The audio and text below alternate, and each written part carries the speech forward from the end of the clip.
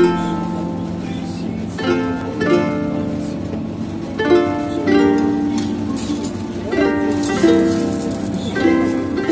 this is a new kind of ice cream in China.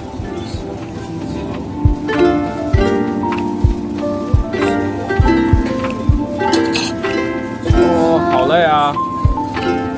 So this is this is the ice cream you can eat. It looks like a plant.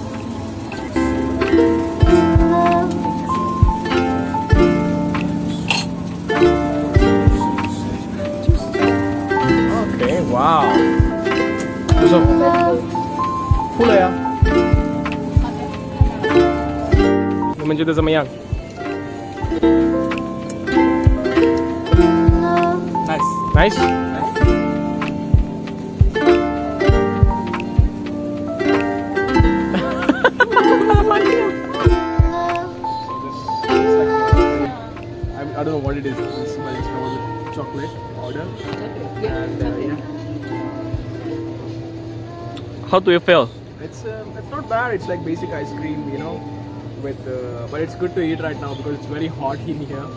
It's very humid, so actually it's good to eat this. But it's not bad. It's a, it's all about presentation, I guess. Presenting it in a pot, so like very smart way of like selling this.